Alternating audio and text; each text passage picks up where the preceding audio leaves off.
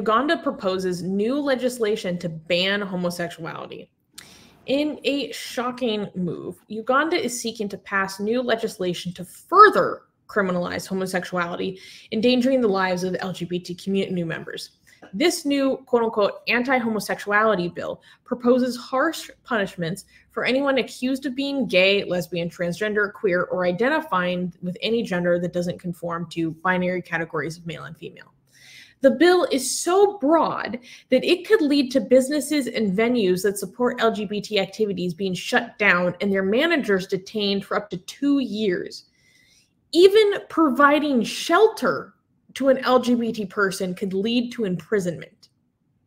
With homosexuality already illegal in Uganda, this new bill would only increase harassment and discrimination against a community that is already incredibly vulnerable.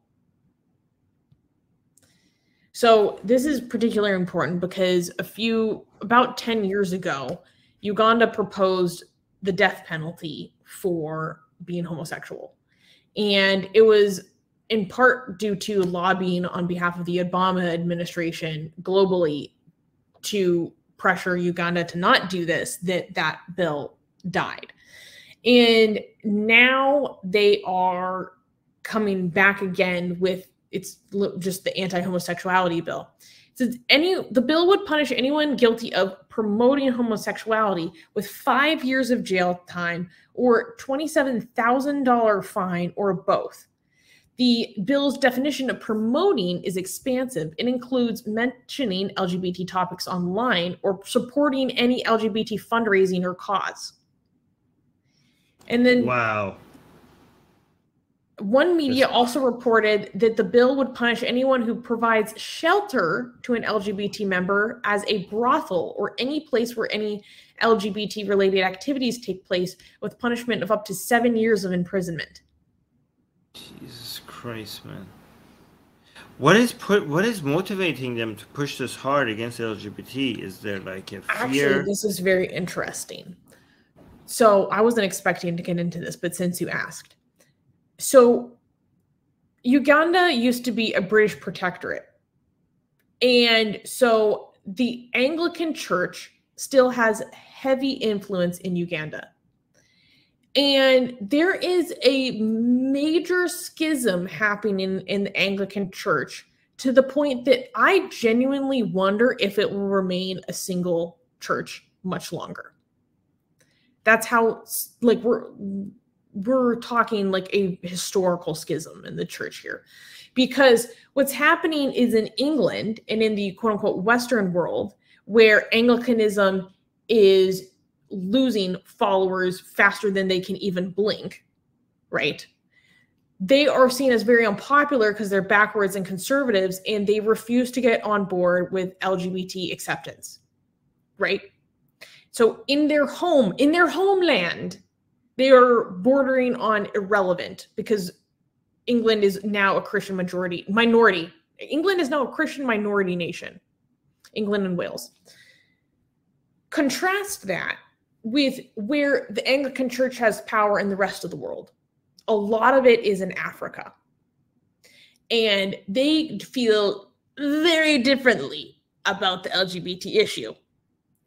So there are people on the English side of things in the Catholic Church excuse me, Anglican Church trying to liberalize.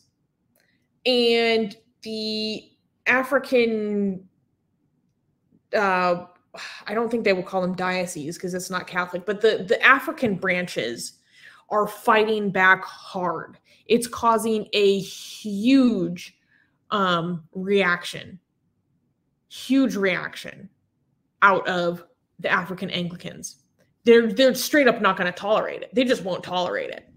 And I think this is partly influenced by the schism that's happening in the Anglican Church right now.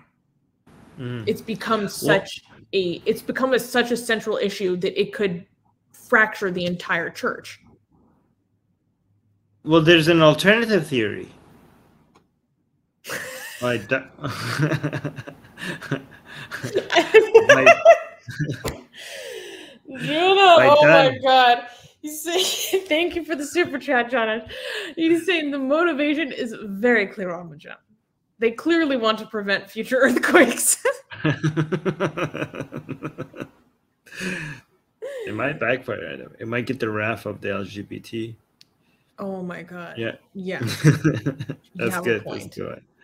Thank yeah. you so much, Danish, for the super chat. That was that's good one.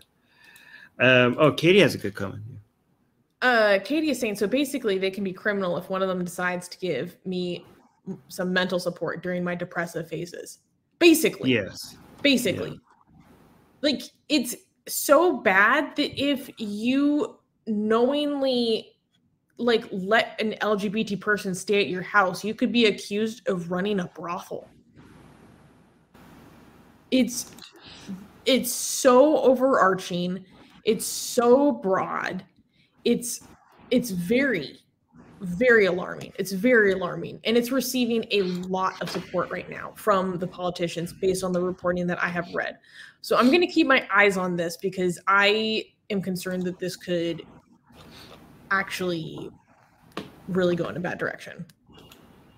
Okay. Well, thank you so much for bringing this to our attention because not yeah. that many people are talking about this. And get my best-selling book, Why There Is No God, for free. Click on the link for it in the description.